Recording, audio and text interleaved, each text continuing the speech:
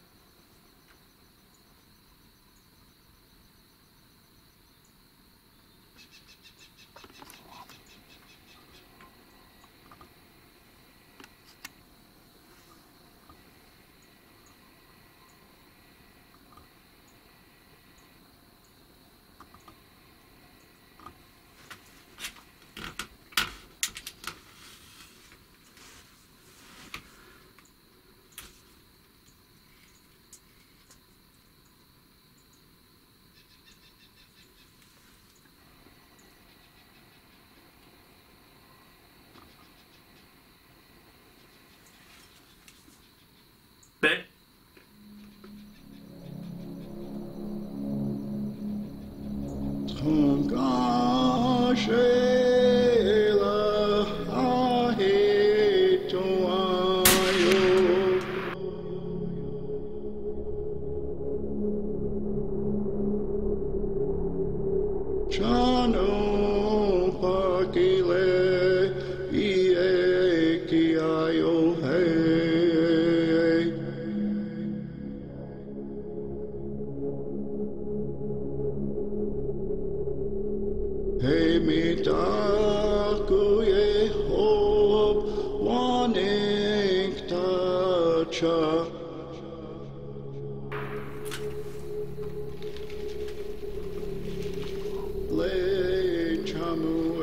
He crashed in here. Of course, he goes in the mesquite thickets, right?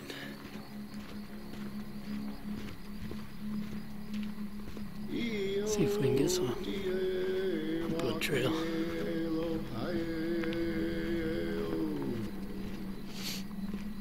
Fortunately, I didn't drop him.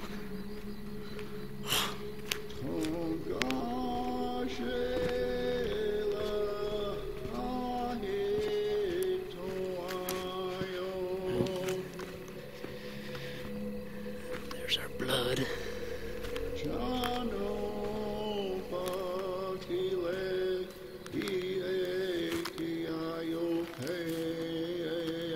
Man, it's thick in there. Came this way.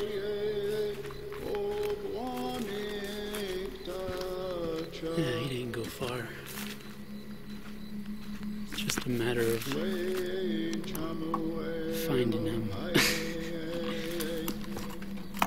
Let me take off my camera from my tripod.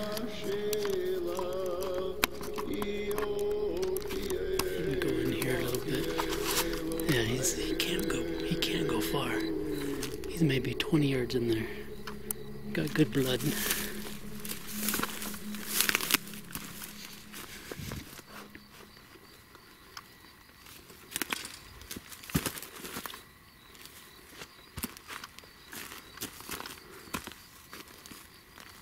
He went this way. Look at that. Golly. Oh. Gotta love South Texas.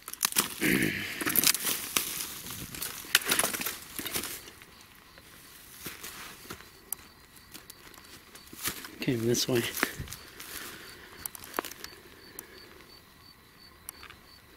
Made a turn. Ow, son of a gun. Oh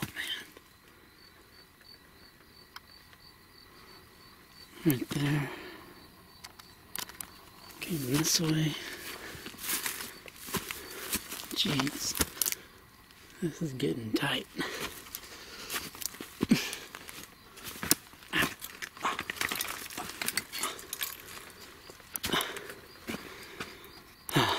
There he lays.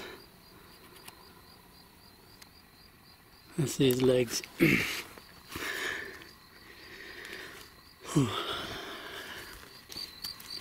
I drug him a little bit.